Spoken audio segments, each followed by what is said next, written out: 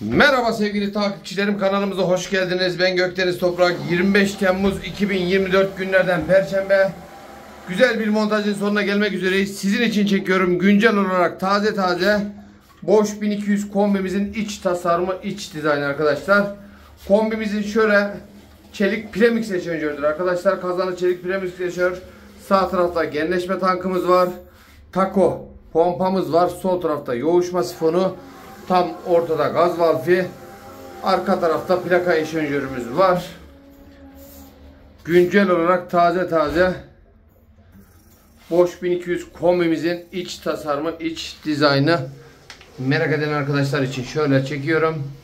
Birazdan montajımızla çekeceğiz.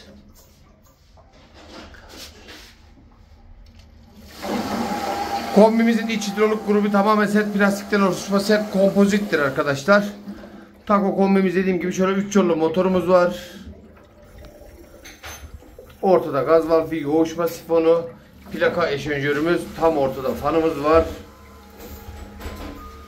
Ankara'da bu tarz işlerinizde kombi, tesisat, proje gibi işlerinizde kesinlikle bizden teklif ve fiyat almadan karar vermeyin. Burası Mamak Akdere tarafı arkadaşlar.